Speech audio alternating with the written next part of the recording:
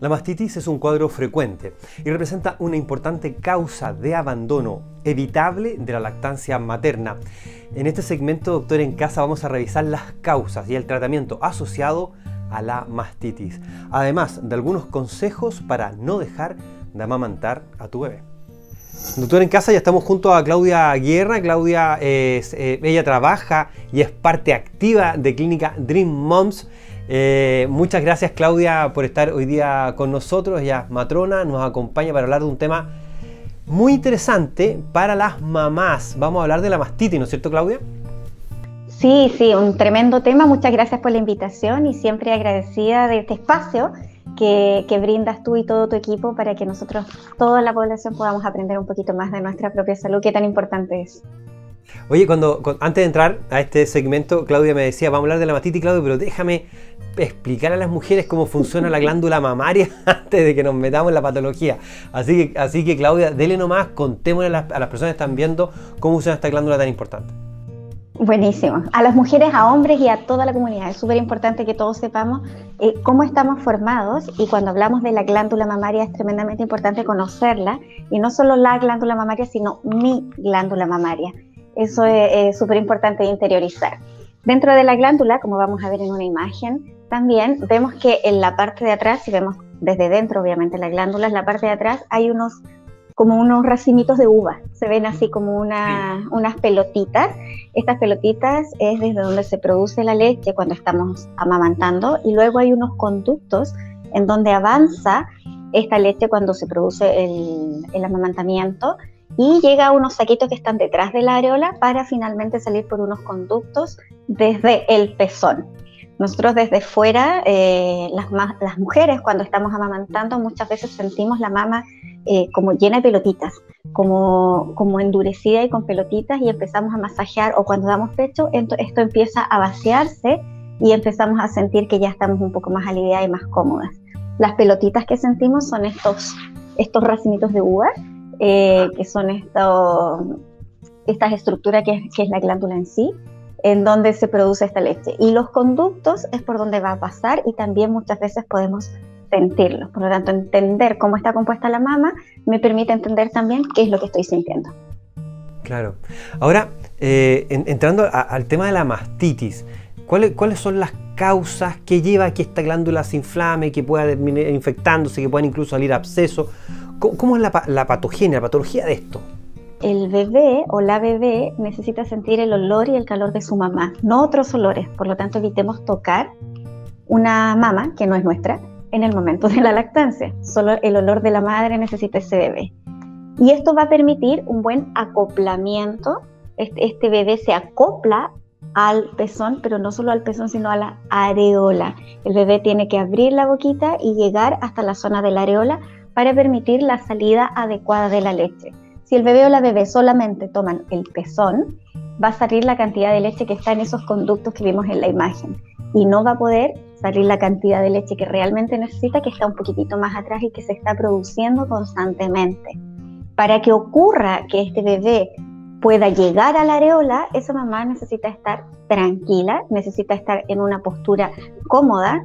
Uno habla de una postura cómoda, pero en realidad es como se sienta mejor eh, para poder realizar este proceso de la lactancia. Necesita tener su espalda apoyada, necesita que nadie opine de nada y que la dejen en calma para poder realizar el proceso de amamantamiento. Cuando ella logra establecer este proceso y el bebé logra tomar desde la areola y no solo del pezón, esta lactancia va a ser un proceso agradable, un proceso en el que ella no tiene dolor. La lactancia no tiene que doler. No es lactancia sinónimo de dolor, como muchas veces se asume, sino que la lactancia tiene que ser un proceso y que ella disfrute este contacto con el bebé, que es el más cercano que tiene, luego de los nueve meses que estuvo en, su útero.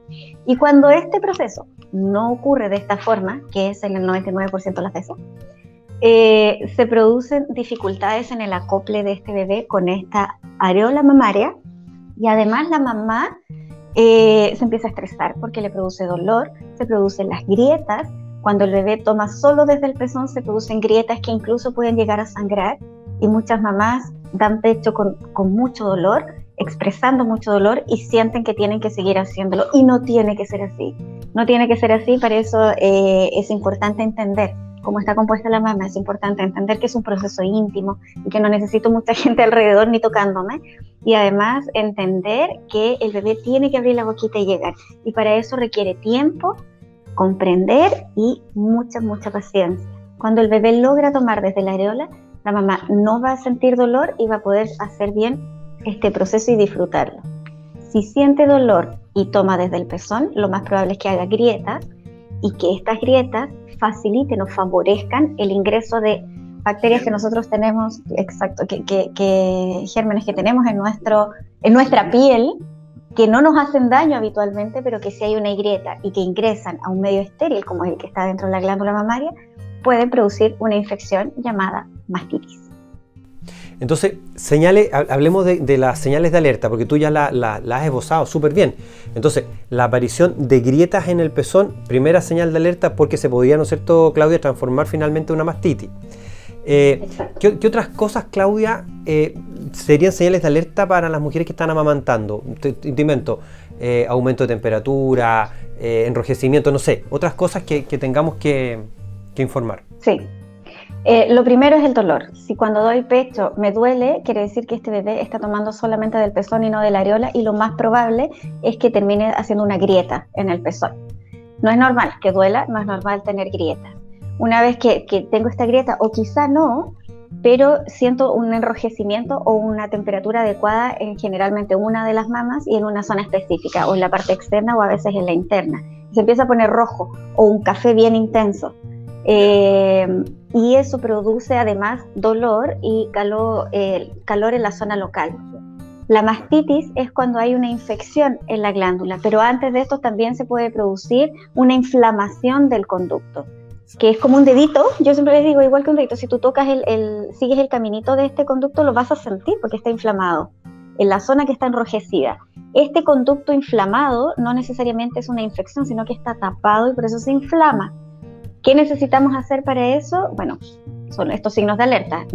Mirar primero que cómo está mi mamá, que no esté enrojecida, que no tenga grietas, que no tenga dolor y que pueda disfrutar yo este proceso. Si eso no está ocurriendo, me pongo en alerta a ver qué está pasando. Si está enrojecido y, o está inflamado y siento dolor, el masaje en la, en la mama es tremendamente importante. Masajear la mama desde arriba, abajo y a los lados, me va a permitir que esa leche que está ahí empiece a avanzar. Masajear en la zona del conducto que tengo tapado también. Y esto no es simple y no es fácil porque duele. Entonces, eh, si duele, evito tocarme la zona y eso no me va a ayudar a sanar este proceso.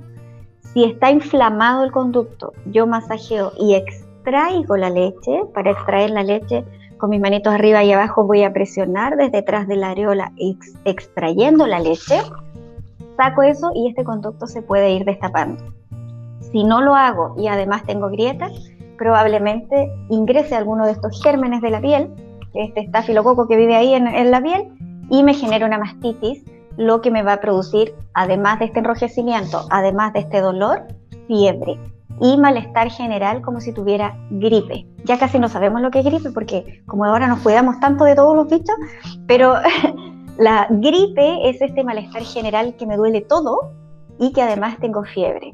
Si hay síntomas como de gripe en una mujer que está amamantando, pongo en alerta porque lo más probable es que no sea una gripe y que sea una mastitis.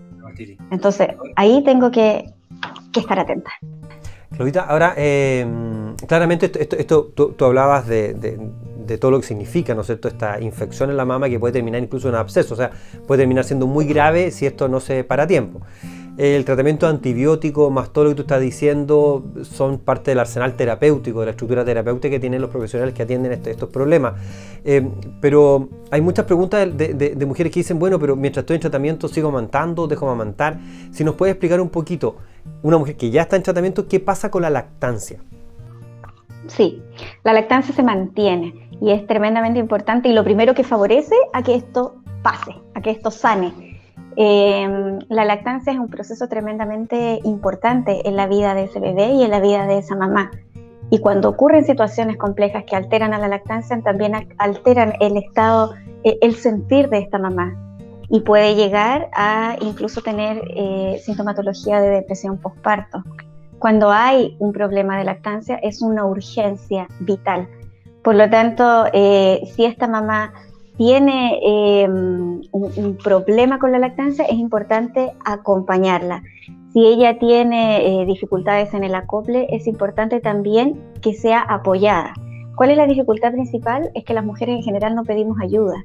No sabemos si no sabemos ni pedir ni recibir la ayuda. Entonces sentimos que tenemos que ser capaces de hacer todo y todo bien y cuando esto no ocurre eh, nos empezamos a sentir culpables de lo que está pasando. Y esto es lo que no queremos que ocurra y para eso es tan importante esto que estamos haciendo hoy día de conversar, de entender cómo funciona mi glándula mamaria, de entender cómo está compuesta mi glándula mamaria, que es mi glándula, no la glándula, y eh, cómo está este proceso de, de lactancia, que es mi lactancia, con mi bebé, que es un proceso íntimo que debo respetar. Yo creo, yo creo que, tú sabes que estamos súper acotados, pero ha sido tremendo porque yo creo que hemos llegado con los conceptos más importantes de lo que es la mastitis y la explicación que hiciste al principio del segmento de la glándula mamaria. Yo creo que información muy valiosa para, nuestros televidentes. Eh, te voy a hacer una invitación yo creo que vamos a, vamos a hacer un capítulo especial contigo, ¿te parece? Vamos a hacer la, la invitación a toda la gente que nos sigue para, para revisar las posturas correctas y las incorrectas a la hora de amamantar, que creo que sería un tremendo aporte eh, en, eh, esa, información para las personas desde el punto de vista no solamente de la mastitis, el tema postural, lumbago, dolores de hombro, agotamiento y un montón de cosas que se van produciendo cuando tienes una mala postura. Así que la vamos a dejar invitada, Claudita, para un siguiente segmento, ¿de acuerdo? Para hablar de las posturas correctas e incorrectas a la hora de, amamantar. Muchas gracias, Claudio, por estar hoy día con nosotros. Muchas gracias a Dream Moms. Eh, nos gustaría que, nos dieras cómo, cómo, la gente puede llegar a Dream Moms para conocer más de estos temas tan interesantes eh, de la mujer. Muchísimas gracias por la invitación. Nos pueden encontrar en www.dreammoms.com y ahí acceder al contenido y a, una línea de tiempo que nosotros tenemos en donde puedes encontrar actividades desde que estás embarazada hasta que tu hijo tiene 21 años. Actividades dirigidas a la madre, para ti. Qué bueno. Claudia, un abrazo grande, cuídese mucho. Eh, ¿Cómo está el tiempo allá? Hoy está rico ahora, o sea, yo ando con parca porque soy súper friolenta, pero, pero para el resto de la gente normal está agradable. Un abrazo grande, quiere mucho, que estés bien. Un abrazo y beso, chao, chao, gracias. Si estás sufriendo un cuadro de mastitis, no olvides que es muy importante consultar frente a la aparición, por supuesto, de estas primeras molestias consulta a tu médico y sigue el tratamiento que te indique. Siga junto a nosotros en Doctor en Casa para más consejos de salud y calidad de vida.